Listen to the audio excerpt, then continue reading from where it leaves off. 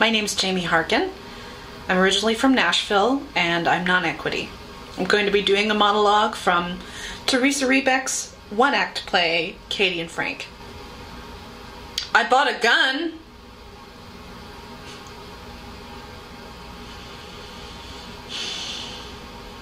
I did. This morning. I went out and bought a gun. It's absurdly easy, you know. You just go out and just like buy it. Actually, you go in on Monday and pay for it, but they don't give it to you until today because of this waiting period. They make you wait before they give you the gun, just in case you want to change your mind.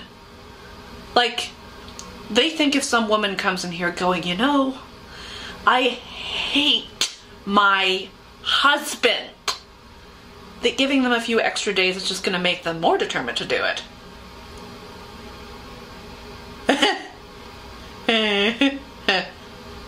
Unless that's what they're hoping for. Thank you.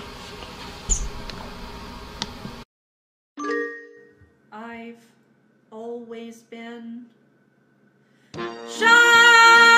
I confess it, I'm shy. Can't you guess that this confident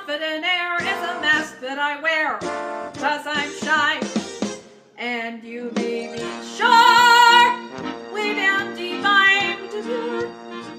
Though some people I know might deny it, at bottom I'm quiet and pure.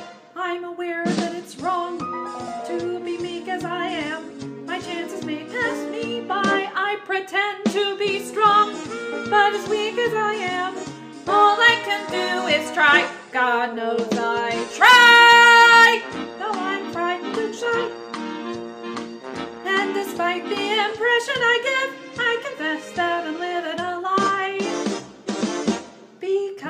I'm actually terribly timid.